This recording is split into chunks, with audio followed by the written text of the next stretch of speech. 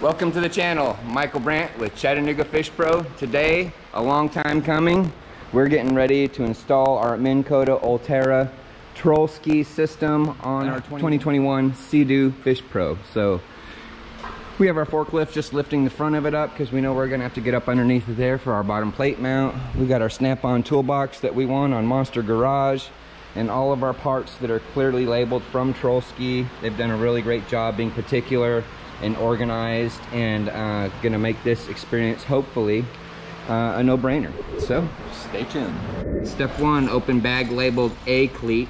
Here we got this here. Or screw the springs in the bag onto the U-bolts and place them through the holes of the side of the cleats. So we haven't opened the cleats yet, but we do have here um, the springs. So it's showing us to take the nuts off.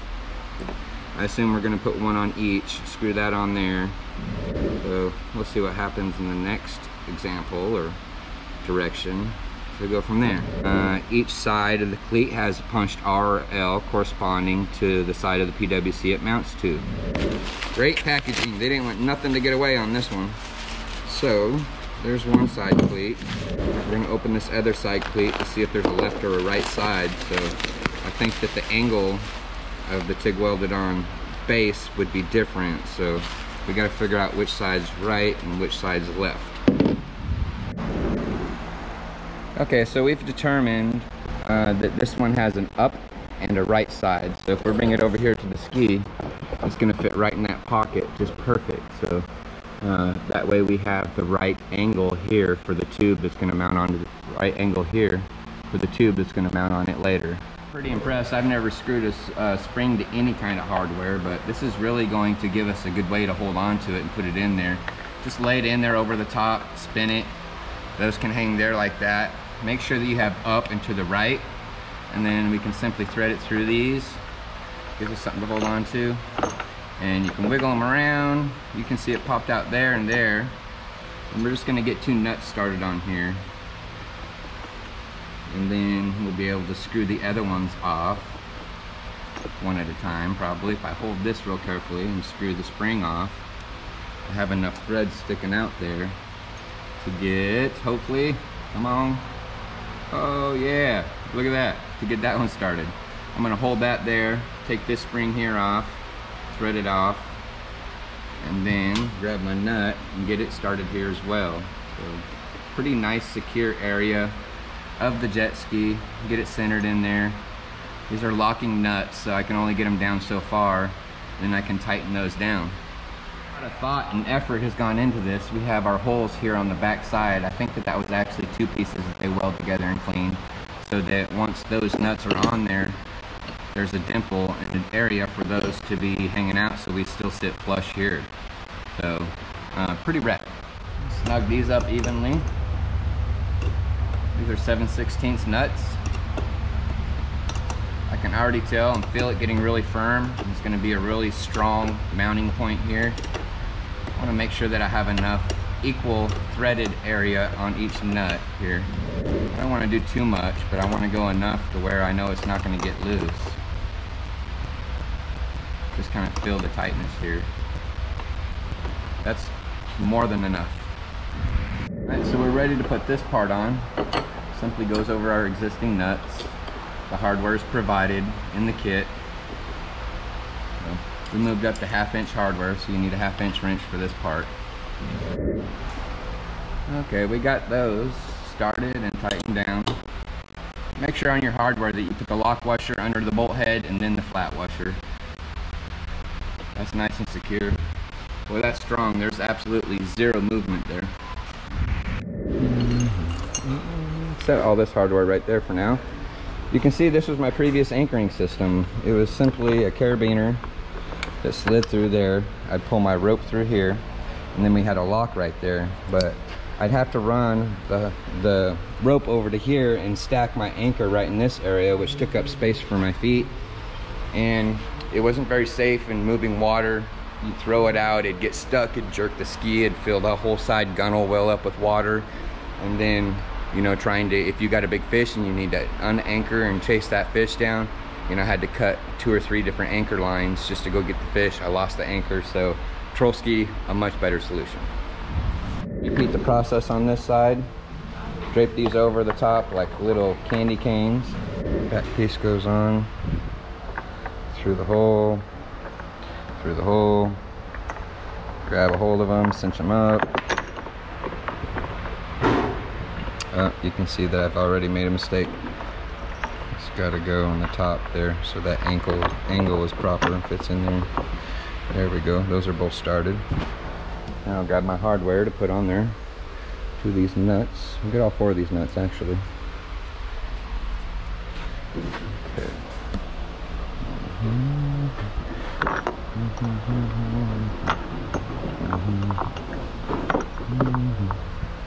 This is so smart. I can only imagine trying to figure out how to hold that while you're getting those nuts started. We simply repeated this side, same uh, process as the last side.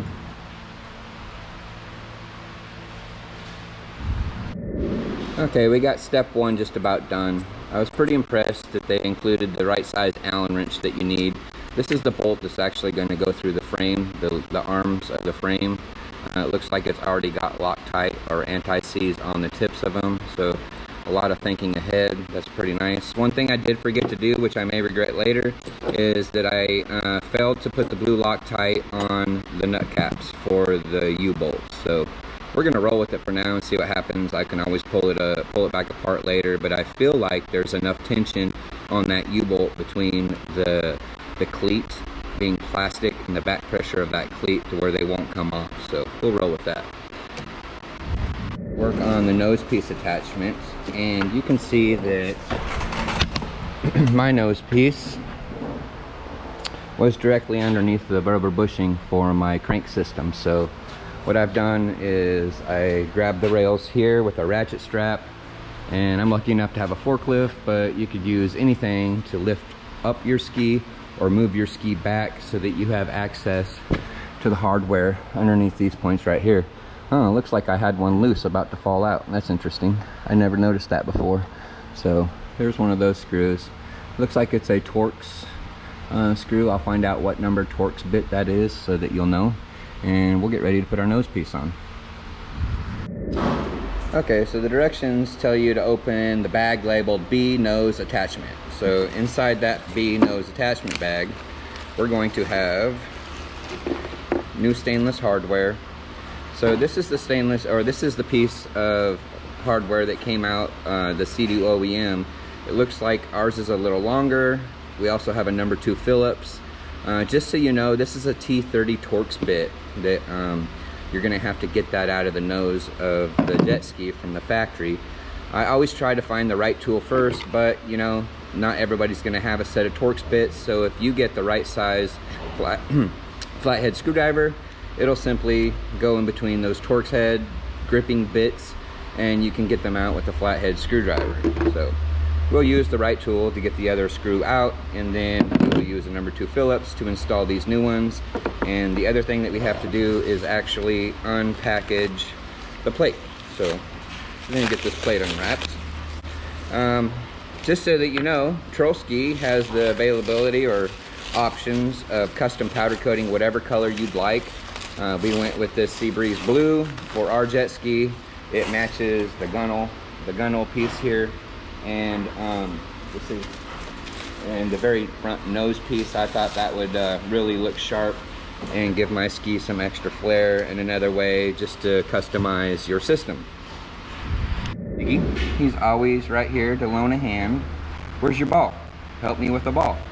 So he always rides on the jet ski with us, goes fishing with me and Connie Coolbeans, and is just a great friend. So here's our nose piece attachment.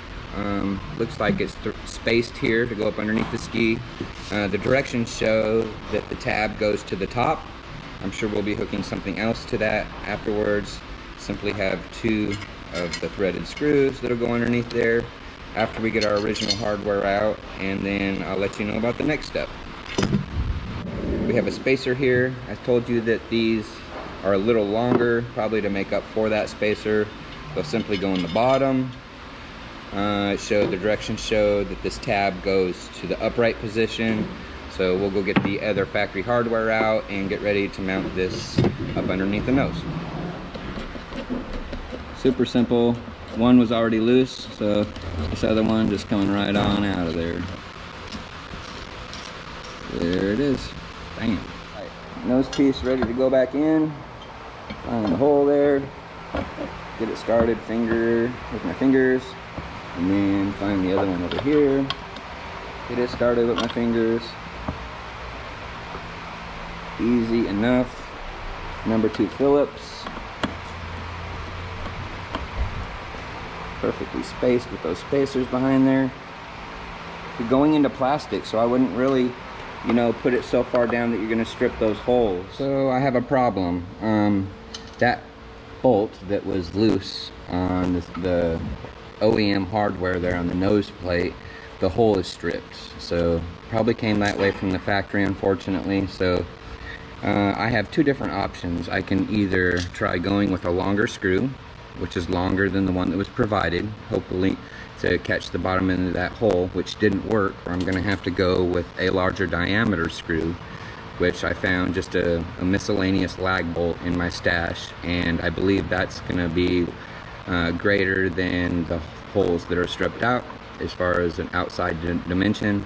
So we're gonna run that one up inside there and hopefully that does the trick. It's got a half inch head on it I hate to do things like this but you know sometimes you have to improvise. So we're gonna try this.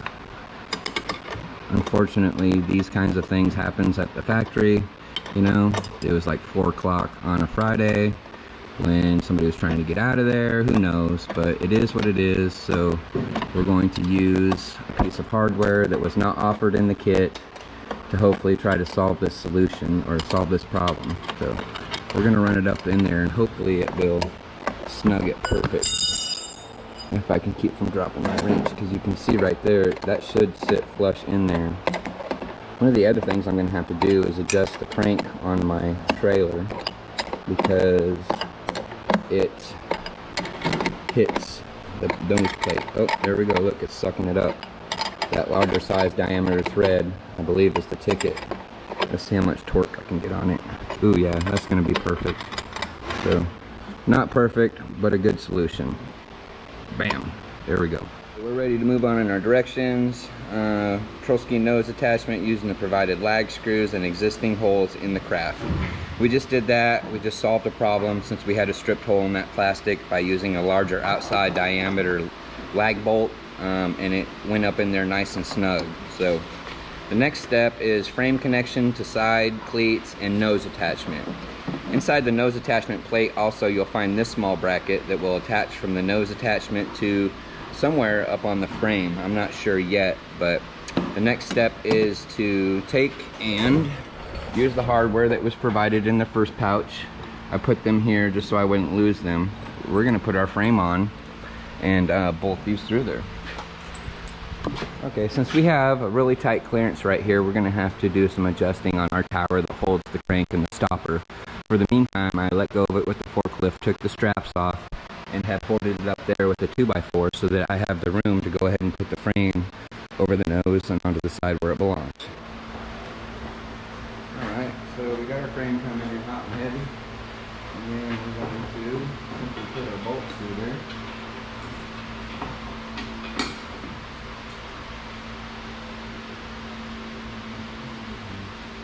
Get it better. maybe separated you see. There you go. Started? Okay. So I believe mine started. Yeah. Run it in a little bit. I don't, I'm not going to get real tight with it yet. Okay, we'll check the directions for the next step. Since I've never really been good at following directions in my entire life, I see something I'd like to try to improve on before I tighten these bolts to the frame. You can see right here that that bracket sits right on top of the fiberglass and I'd like to put a barrier between there. So if it ever comes loose it doesn't beat it up and chip it or dent it. So I just had some weather stripping here in one of my toolboxes. I'll cut a couple small strips of that and glue it to the bottom side of that bracket so I at least have uh, a small dampening system between those two parts. Just gonna cut these square on the end there. Put that there and hold it up there and kind of get an idea of how long it needs to be. Something like this would be plenty. Might even get by with just putting one piece in there instead of two if I position it directly under the center of that bracket. Something like this. Let's see here. Right there would be great. So that's the high point. That worked out perfect. You can see right here, I now have a barrier between those two surfaces. This connecting bracket was included in the kit for the nose mount area. So it looks like you have one bolt that goes through the top there. There it is. This one's slotted so that you have room to slide up and down to fit there too. So we'll put them both on the same side, probably that side, run our hardware through there. This requires 7 16 hardware, 7 16 wrench, and this really did a great job at stiffening it making that one unit kind of sandwiches it between there. Uh, super slick design. I'm excited to get ready to put the trolling motor on there next and um, we'll go for the next steps. Some of you may have seen some of the videos that i post to chattanooga fish pro youtube and instagram pages and a lot of that's been made possible by this st3 camera mount for or from andrew hill fishing Unfortunately, we're going to have to remove that because we will now have two eye bolts that go in its place to strap the trolling motor down while it's not being used when it's in the stowed position. So we'll have to come up with a creative way to um, put this back together so that we can still use this camera mount because we really like it a lot. Alright, we got to a stopping point for the evening. We went ahead and bolted the trolling motor to the frame you'll have to actually take a small screwdriver and pop this C-clip off here, this C-clip off here, and pull this out in order to gain access to the bolt underneath of there. So that's not a big deal. Uh, I did learn online that the Minn Kota uh, GPS puck here has a little arrow on top of it. You can see that's need to be facing toward the front of the bow, the front of the watercraft. So we have some wiring questions. We're gonna get together with Troll Ski. Um, this cover here is removable, so I went ahead and ran the trolling motor skis right through this cover. I simply drilled a hole right there. That's gonna be a nice um, way to hold all those wires out of position. I'll show you what it looks like with the cover Once that cover's back on, just slides on. It's got two slide on pivot pins down there and slides back this way. Uh, that's a really nice connection. Good place for all the wires to go hang out. Uh, we're going to have to temporarily install power to the trolling system so that we can get it down out of the way to lift up the handlebars, to remove the storage container bin so that we can actually run our long power cable uh, all the way through the ski and back up to the area of the cooler. One of the other things that I did so that I had full access to inside the hole is remove this top plate. It looks like one, two, three, four, five five on each side and then three around the center pole position here. I'll just stack my hardware right there so that we can get back, oh, to put them back together after we uh, get our, our wiring ran. All right, we're on the left side of the ski. Went ahead and set all three Optima batteries in there uh, with all the red positive ports on the left and go ahead and slide the provided uh, battery divider inside there so the batteries can't shift around from side to side. Okay, since I needed more clearance for my nose piece here, I'm gonna take this tower off completely. Uh, we were not able to secure a brand new trolling motor, so we were able to find one that was slightly used, and that's the motor we have. Uh, the problem we have is after mounting this motor to the frame, it's right in the way from being able to lift up the handlebars and take the compartment out to run our wiring. So we're going to have to wire our batteries in and partially deploy the trolling motor so that we can have the clearance to open the handlebars, get our bin out and continue wiring. So that's what we're doing now.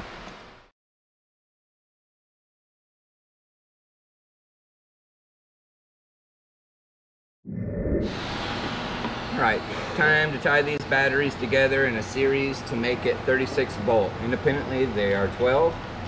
So by putting these jumpers from positive to negative and positive to negative, that will ultimately give all three of these batteries the ability to become one big 36 volt battery. So I'm gonna start right here.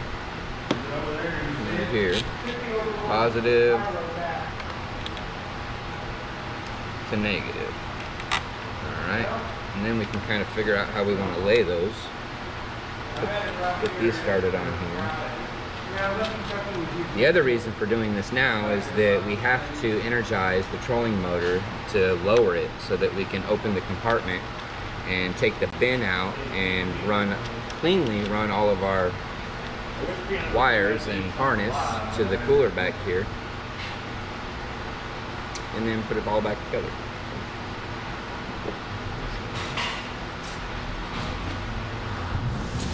Okay, so a new factory Minn Kota trolling motor would have the matching eyelets on the motor side. So this one has been altered since it's a slightly used trolling motor. We're going to have to cut this off and either put eyelets on both sides and bolt them together or to take and put a crimper to make each wire as one. So I'm not sure how we're going to do it yet. We're going to see what size electrical connectors we have. Might do butt connectors and just recrimp those and make that all one piece because we don't plan on taking our trolling motor off.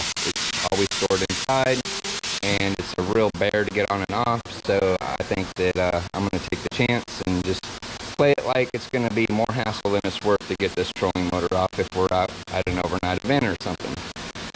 That's going to be your... We now have a wiring game plan. Included in the kit is this pigtail here. Get a nice shot of that. We're going to use one half of it, cut it here, and then wire these into the end of the pigtail. That way if I ever do have to do any maintenance on the motor and stuff, at least I can take that apart um, by untaping it. So Then our wiring harness is going to run all the way through the ski. Accompanied with that are the control wires for the puck. To run all the way through the ski. Back here, I'm going to drill a hole for this mount right here right just inside the tail end of the hole there. I'm going to cut this rubber mat back and drill and put that there. Then those wires will come behind the rod holder here to another port. We'll put this other port right here through the cooler. That way we can connect and disconnect the cooler and the batteries if we want to stow it away if we're going to be somewhere for security or if we don't want to run with the uh, batteries on there for the day. So that's the game plan. Stay tuned. So I've enlisted my buddy Clint. He is an electrical guru. Say hi, Clint. Hello. And we're just gonna trim these off like I explained earlier. We have some heat shrinkable um, wire connectors there that will crimp down and reheat shrink. And that's gonna give us a nice connection and a way for us to disconnect it if ever needed in the future.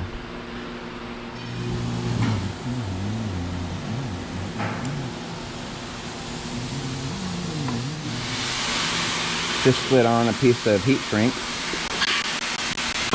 Reach in there, clamp them down.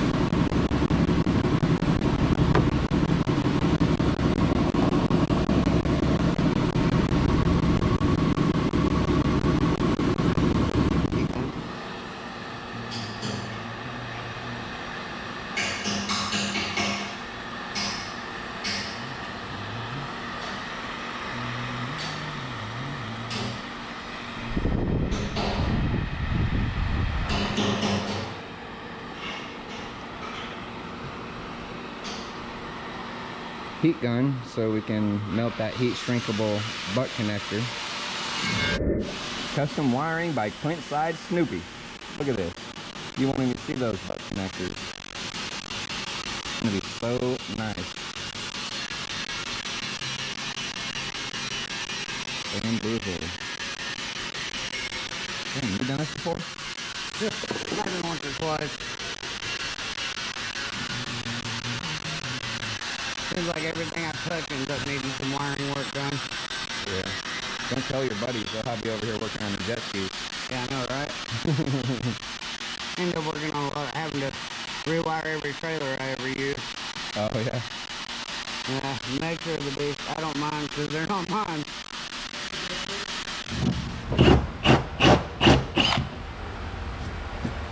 So nervous drilling a hole in my brand new jet ski. But it's got to be done. So we want just 0.9. A little more. That might be one inch. That is 7 8 so we can go all the way with this. Okay. That's a sharp bit. All right, that might fit down in there now. One sharp bit.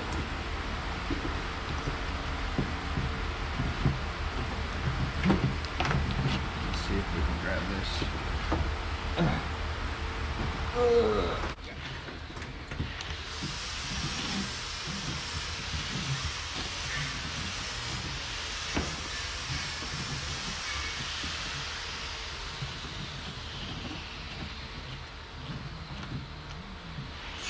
went blank.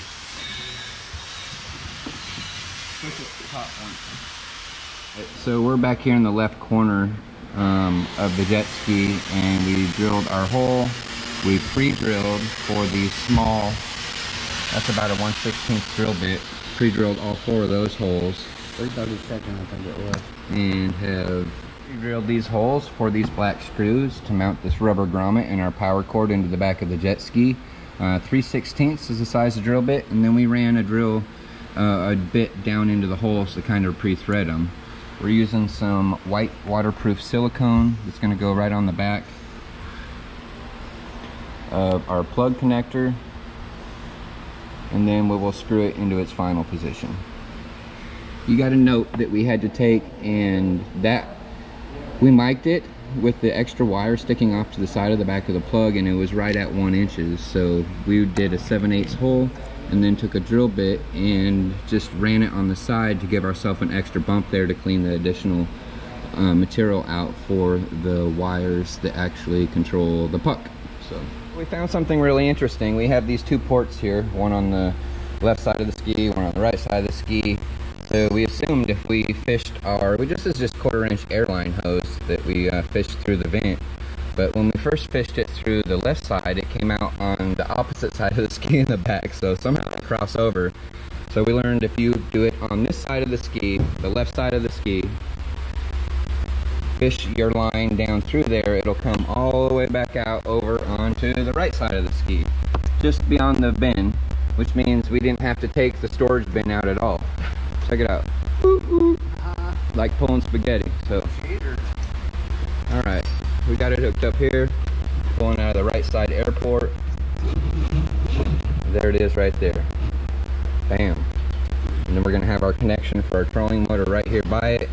We'll actually be able to pull some slack back out and go back in there. This is a hole where the factory wires run through, so we figured that'd be a, just as good a place as any. And I'm real excited we didn't have to take the storage bin out. That's pretty rad. Good job, Clint. You're a ninja, Clint. Taping our trolling motor lead together. That way we don't have any unsurprised loose connections or any stoppages while we're out on the water. This is important to us because we're going to slide that down inside that vent hole as far as we can. Uh, note that the the wire coming off of the GPS puck is a little shorter than the wire provided on the trolling motor. So we'll only pull it long enough to where we don't have a lot of tension on that wiring for the GPS puck and probably tie it back into this. So I've chosen the place where I want my quick connect to go right here in the side of the cooler, just behind the angled rod holder. We will have to now use our other rod holder back one position instead of the very front position, but I think that's okay.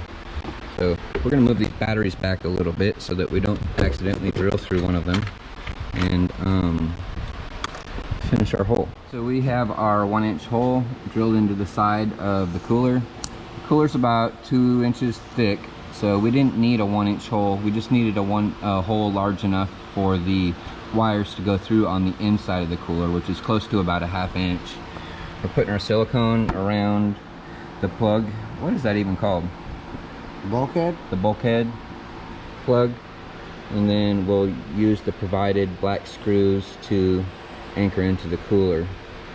Not sure if that's a good long-term solution. I'd rather see stainless hardware with nuts and bolts or the nut nuts on the inside with washers, but we'll give it a whirl, see what happens. That plastic is about eighth inch. I do not believe we'll drill pilot holes for this portion though. We'll just screw them right into the plastic. Okay, so we have a nice little pigtail made from the new port on the ski. It contains the two wires for the puck and the positive and negative lead for the trolling motor. And it comes all the way up here where we installed our secondary plug that comes through and we're down to wiring just those inlets onto the batteries. One of the other things we have to still do is figure out how and where we want to mount our 60 amp breaker. Wherever that is, it's around here somewhere. There it is over there on the table. So, coming together nicely. Looking forward to trying this out for sure. Okay, so we've chosen to put our 60 amp uh, resettable fuse right here on the inside of the cooler. We have drilled and inserted the Astro Tool nut zert. This is the nut zert we're gonna use. We already got one installed, bolted it up there and marked our other hole. So we'll put it on the tool here. It's got one already rigged up. Yeah, You can see it there on the tool. This is an amazing tool. And we'll see if we can't slide it in that hole. And then we'll crank down on that with the little crescent wrench or quarter inch wrench, whatever size it is, until it expands on the back side and then we have permanent mounting for our 60 amp breaker.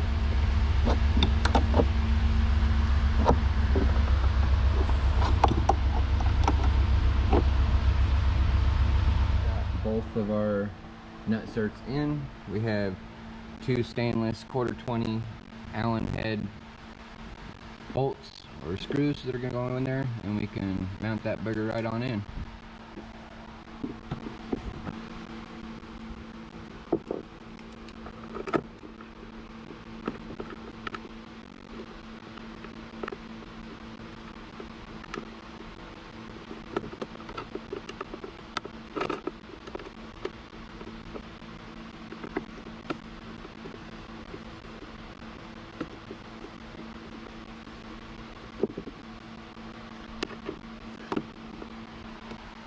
have we have our power wire coming in from where it plugs into the back of the ski. And then here, this is our resettable fuse. And then the wire will be coming out here going to our first positive post. So that way if the amperage spikes past 60 amps in this circuit it'll flip the breaker and uh, save you some headache. Okay, one of the last alterations that I had to made, make for this system to work on my confab trailer is to cut about three and a half inches out of the tower that holds the crank because I was having a clearance issue right there. So I measured three and a, three and a half inches, cut that out, and since they solid welded it inside there, I just decided it was easier to make another three inch base piece and weld it, weld all that back together. So should be just about right. I can bolt that in, get my tie strap in there and crank it down. Should be okay everywhere. And believe it or not, we're just about ready to go test this on the lake. So super excited to see what it does. I have a lot to learn about the key hand controller or the key fob controller. Uh, I've been reading a little bit on uh, the website from Minn Kota and we're gonna go give her hell. Stay tuned. So tell me this, when you go get the truck yeah, I'm gonna try it right now. Okay. So, when I go get the truck, right, I can take and turn it all the way around. Stay. And then I'm gonna send it out there. Okay. So when I park the boat, I drop it off the trailer. Stay. Stay on the boat. Jiggy does not understand why he's leaving. and you're not with him. Say it's like right there, right? Right. push anchor. And it's gonna keep it right there. So you anchoring it right there. Yep, GPS anchor. GPS anchor, it spot locks it. Yep. And it's not gonna go anywhere. Not gonna go nowhere. Even though there's a current. Even though there's a current, it's gonna keep it right there. Okay, got it. And then you can go get the truck bring the truck here and then remote control that sucker all the way over to the trailer. So park the truck and walk down to the dock like this and the jet ski could be over there. And then I can drive it back to me.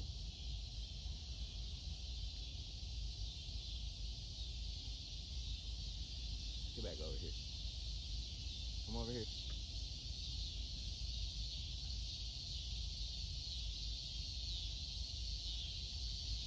Tiggy, you can use the Sea-Doo by yourself. You're a good driver. You don't even need Daddy to Sea-Doo. And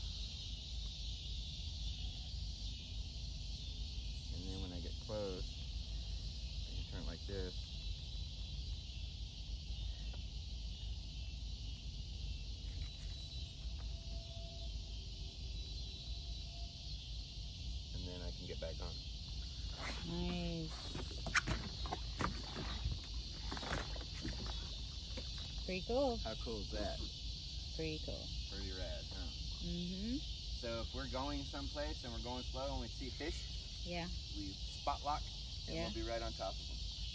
Or if we're at the dam where there's a the dam where there's crazy moving current, Yep. we can spot lock it and stay in one spot. And then if we want to take off real quick, we just push that button. Oh shit.